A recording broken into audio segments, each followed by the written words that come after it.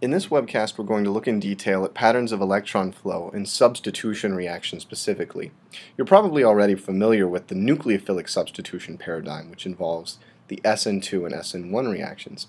In this webcast, I'm going to introduce the SE, or electrophilic substitution paradigm as well, and show you some examples of that that you've already seen that you may or may not have thought of as substitution reactions in the past. So substitution reactions, as we've seen, involve the general replacement of a group X on a carbon center, typically, typically R is a carbon group, with a reagent Y. And so the result is the expulsion of X and the replacement of X with the group Y on R. There are two ways that we can basically think about this happening. The first is what we might call what you're used to, and that's nucleophilic substitution. Nucleophilic substitution involves the reagent Y as a nucleophile, and that means that Rx is an electrophile. To give you a classic example of this, if we were to take an amide base, such as NH2-, and add it together with methyl bromide, we would end up with a methylamine as the final product. The mechanism here involves SN2 displacement of the amide for the bromide. And so the mechanism here is simply the SN2 elementary step. And this label, the SN, refers to the fact that the reagent is a nucleophile. That's the source of the letter in there. Another possibility for nucleophilic substitution involves weak nucleophiles. A common paradigm here is acidic conditions where the leaving group is activated by the acid. So for example, if we ran the reaction in solvent methanol and we took tert butyl alcohol and treated that with acid, what could happen under these conditions is protonation of the oxygen, which creates a good leaving group, followed by DN, or nucleophile dissociation, to produce a tert butyl cation, which is then attacked by the solvent, methanol. And that leads ultimately to a substituted product where OMe has substituted for OH. The sequence of elementary steps here is proton transfer followed by D sub n, dissociation of the nucleophile,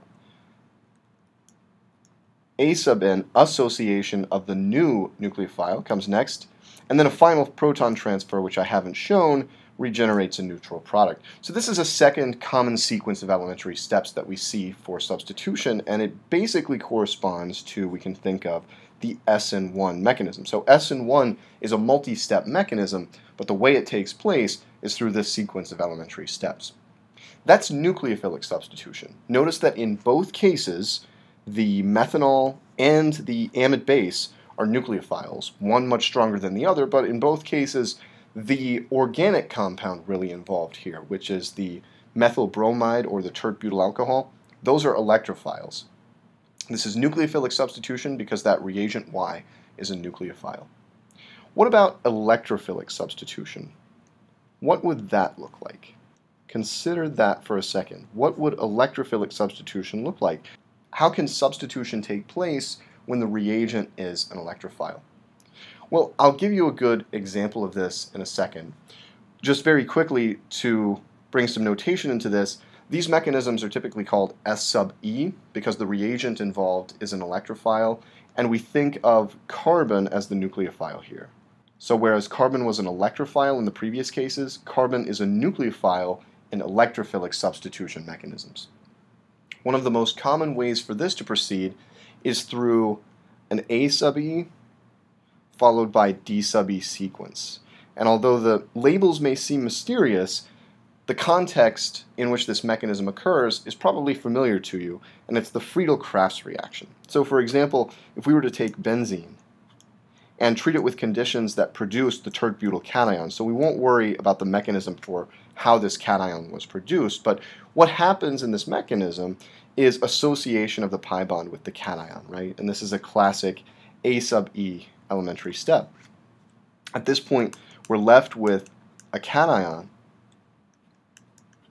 and we've formed a bond between the tert-butyl group and the aromatic ring. What can occur at this point is recreation of aromaticity through loss of the proton. And usually there's a conjugate base hanging around to remove that proton, but we can think of this as a DE step, dissociation of electrophile. Specifically, the electrophile here is the proton, H+. And notice how the overall reaction here corresponds to a substitution. So we've taken a reagent Y, the tert-butyl cation, which is an electrophile, and placed it at a position where H plus was before. This is electrophilic substitution. Electrophilic substitution is common under acidic conditions when strong electrophiles are hanging around and weak nucleophiles, weak carbon-based nucleophiles, can react with those electrophiles. There's another way to think about electrophilic substitution under strongly basic conditions. And the idea here is to think of the reagent as a weak electrophile and the carbon-based reactant as a strong nucleophile. Let me give you an example of what this looks like, and you may think to yourself initially that it looks a lot like nucleophilic substitution, so we'll soon see that there's some ambiguity here. But consider a possible mechanistic sequence where there's a proton transfer first, followed by SN2. So for example, say we took something that had two electron withdrawing groups, think of R's as carbonyl groups or uh, nitrile groups, your favorite withdrawing group, and we treated that with base, and the base removed one of the protons associated with the central carbon atom to yield a carbanion. Now the carbanion is an awesome nucleophile in and of itself, but imagine we treated this with Br2, the reagent Br2, and the step that followed was an SN2 step, where the carbanion displaces bromide, leading to the formation of a new carbon-bromine bond. Technically speaking, this is an electrophilic substitution because the reagent used to effect the substitution is an electrophile, right? The Br2 is an electrophile here. It looks a lot like nucleophilic substitution, and from the perspective of the bromine atom, for example, it kind of is a nucleophilic substitution. So we see in this example in particular a kind of ambiguity that results when we try to distinguish between electrophilic and nucleophilic substitution. And this is particularly common when we talk about C-C bond formation, carbon-carbon bond formation. When carbon-carbon bonds are formed through substitution reactions, what has to happen is one carbon has to take up the role of nucleophile and one has to take up the role of electrophile. So depending on our perspective, we can think of the reaction as a nucleophilic or electrophilic substitution. And I want to show you an example of that. So imagine again we took an amide base one more time. I'll use just NR2 here in this example. And we treated it with a ketone such that we formed an enolate anion. And after forming this enolate, imagine that we dumped in along with it some methyl bromide.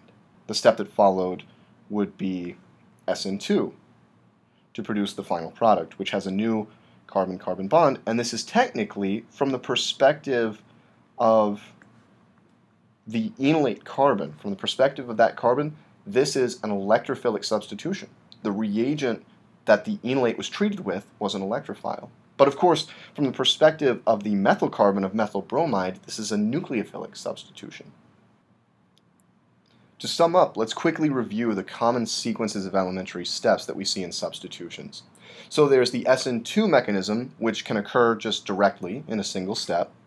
We have the SN1 mechanism, which usually occurs through some kind of proton transfer, followed by DN and AN, those are the critical steps, and then a final proton transfer typically.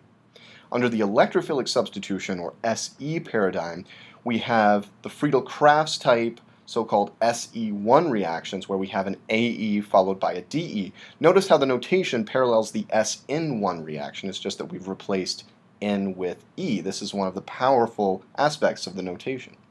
We also have the electrophilic substitution under technically basic conditions, where deprotonation at carbon occurs first and an electrophilic reagent comes in to actually affect the substitution. And we've seen how there's some ambiguity here, particularly in the context of CC bond formation when we talk about this PT followed by SN2 sequence. But it's a very common paradigm for substitution that you'll see again and again in organic reactions.